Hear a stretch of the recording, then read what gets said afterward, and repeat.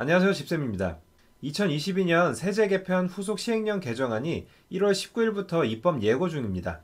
다음 달 2월 중에 공포 시행될 예정이라고 하는데요. 여러 개정안이 있어요. 그렇지만 부동산과 관련된 임차인의 미납 국세 열람권, 월세 세액 공제, 농어촌 양도소득세 특례, 그리고 종부세 주택수 특례가 적용되는 지방 저가주택의 범위, 다주택자 양도소득세 등이 어떻게 변경이 되는지 하나하나 알려드리도록 하겠습니다. 기재부에서 23개 후속 시행령 개정안을 마련했는데요. 입법 예고는 2월 3일까지 할 예정입니다. 그리고 2월 중에 공포 시행될 예정이니까 상세하게 알아둘 필요가 있습니다. 다주택자 양도소득세 중과 한시 배제 기한을 1년 더 연장하기로 했습니다.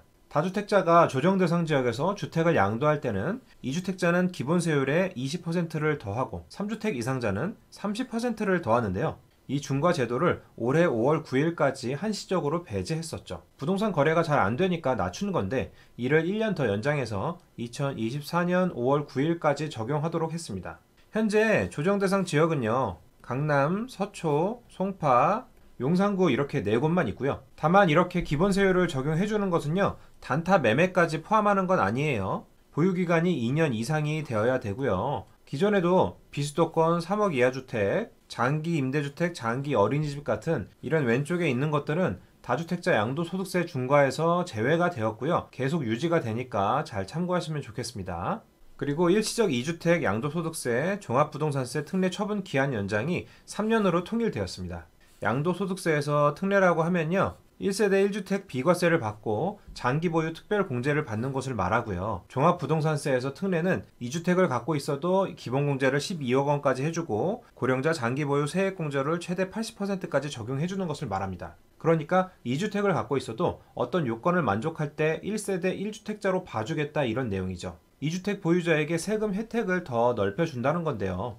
우선 일시적 2주택일 때 양도소득세 특례 요건이 완화가 됩니다. 글로 읽으면 이해가 어려울 수 있으니까 제가 얼마 전에 설명해드린 그림으로 다시 간단하게 알려드릴게요. 기존 주택을 2015년 5월 1일에 취득을 하고 신규 주택을 2017년 6월 1일에 새로 취득했습니다. 그리고 2019년 4월 1일에 이 기존 주택을 매도를 했어요.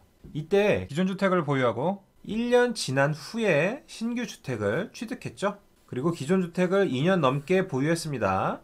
그리고 신규 주택 취득일을 기준으로 둘 다 조정 지역이면 신규 주택 취득일로부터 2년 이내에 기존 주택을 매도할 때 양도세 비과세 혜택을 받을 수 있었어요.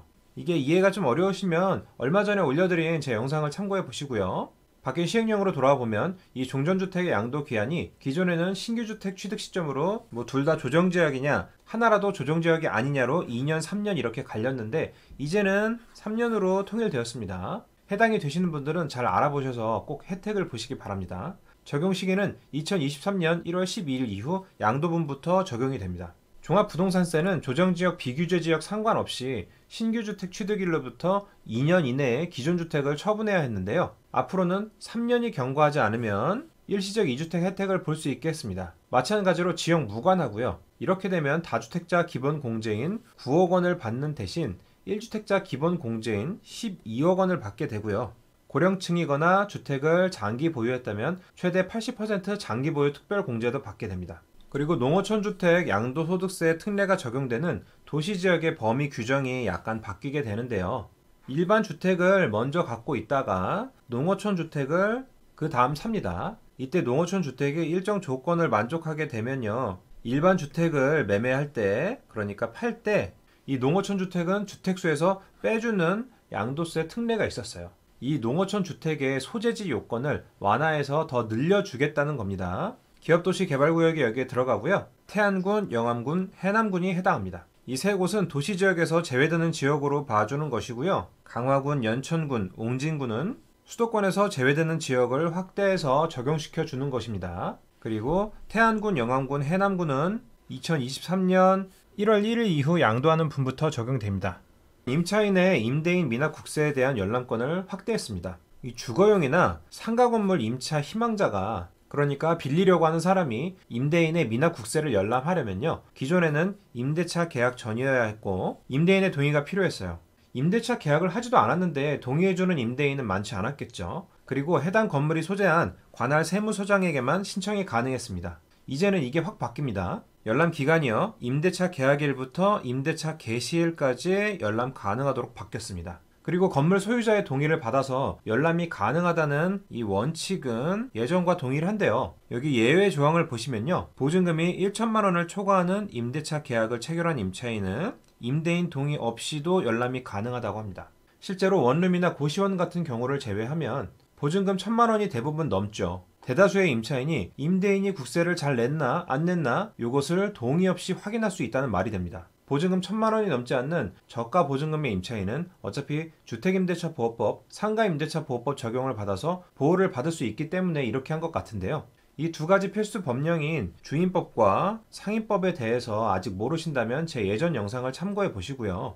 또한 전국 세무서 어디서나 열람 신청을 할 수 있게 되었습니다. 그리고 임차인이 열람을 했다면요. 그 여부를 임대인에게 통지해 줍니다. 2023년 4월 1일 이후 열람 신청을 하는 분부터 적용이 된다고 하니까요. 만약 계약을 하셨다면 실제 임대차 개시일을 4월 1일 이후로 미뤄서 꼭 열람을 해보시는 걸 추천드려요.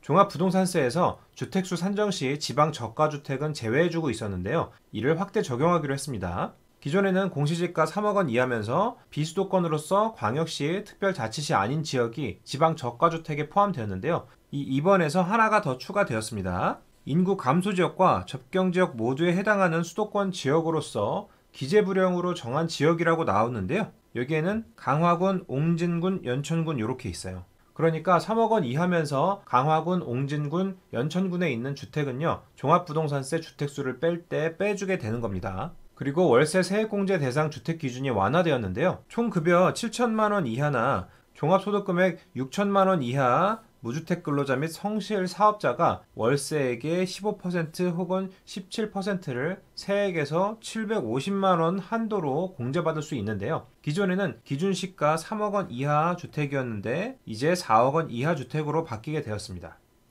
전국 많은 지역의 부동산이 하락함에 따라 많은 규제들이 풀리고 있습니다. 이번 하락장의 원인은 갑작스러운 금리 인상이라고 말씀을 드렸는데요. 최근에는 기준금리는 올랐어도 실질 대출 금리가 약간 인하되면서 정상 금리로 돌아가려는 모습입니다. 그렇다고 완전히 2년 전으로 돌아간 것은 아니고 고금리 전세대출로 인한 전세가 하락은 아직도 계속되고 있는데요. 이런 시장의 경우 금리 안정으로 인한 전세가가 상승이 전환이 되면요. 매매가 상승 전환 역시 같이 진행될 가능성이 높습니다. 이제는 관심 있는 지역이 공급량이 많은 곳이 아니라면요. 천천히 물건을 찾아보셔도 좋을 것 같습니다. 아직 1, 2, 3월 1, 4분기 하락 가능성은 좀 남아 있으니까 안전 마진을 가질 수 있는 경매로 더 저렴하게 취득하시는 것도 고려해 보시면 좋을 것 같습니다. 그리고 제가 오픈한 온라인 경매 정규 강의에 많은 관심 주셔서 감사합니다. 덕분에 얼리버드 이벤트 2탄을 진행하게 되었습니다. 아래 더보기를 누르시면 자세한 사항을 아실 수 있어요. 오늘 영상이 도움이 되셨다면 좋아요와 구독, 알림 설정 부탁드릴게요. 세 가지 다 어렵다면 구독만이라도 부탁드리겠습니다. 영상 제작에 매우 큰 힘이 됩니다. 감사합니다. 집쌤이었습니다.